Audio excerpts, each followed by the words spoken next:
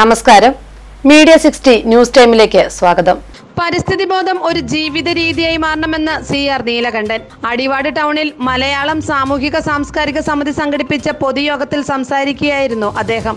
പരിസ്ഥിതി ബോധം ഒരു ജീവിത ശൈലിയായി സ്വീകരിക്കാതെ മലയാളിക്ക് ഇനി മുന്നോട്ടു പോകാൻ ആകില്ല എന്നും അദ്ദേഹം ഓർമ്മിപ്പിച്ചു. പരിസ്ഥിതി ദിനാചരണം എന്നത് ഒരു ചടങ്ങല്ലെന്നും ഒരു ജീവിത രീതിയും ശൈലിയുമാണെന്നും പരിസ്ഥിതി പ്രവർത്തകൻ സി ആർ നീലകണ്ഠൻ. എല്ലാ വികസനങ്ങളും നമുക്ക് വേണമെന്നും അതുകൊണ്ട് ശുദ്ധവായു ജലം ഭക്ഷണം എന്നിവയാണ് ഉണ്ടാകേണ്ടതെന്നും സി ആർ നീലകണ്ഠൻ അഭിപ്രായപ്പെട്ടു. പരിസ്ഥിതി ബോധം ഒരു ജീവിത രീതിയായി മാറാതെ മലയാളിക്ക് ഇനി മുന്നോട്ടു പോകാനാകില്ലെന്നും അദ്ദേഹം ഓർമ്മിപ്പിച്ചു. പരിസ്ഥിതി എന്ന് പറയുന്നത് കേവലമായ ചടങ്ങുകളല്ല ഈ നോട്ടീസിൽ തന്നെ പറയുന്നത് പോലെ അതൊരു ജീവിത രീതിയാണ് ജീവിത ശൈലിയാണ് നമ്മുടെ ശരീരം പിന്നെ ഏതെങ്കിലും ഒരു ഭാഗത്തിന് കൂടുതൽ പ്രാധാന്യമുണ്ട് എന്ന് നമുക്ക് പറയാൻ പറ്റില്ല.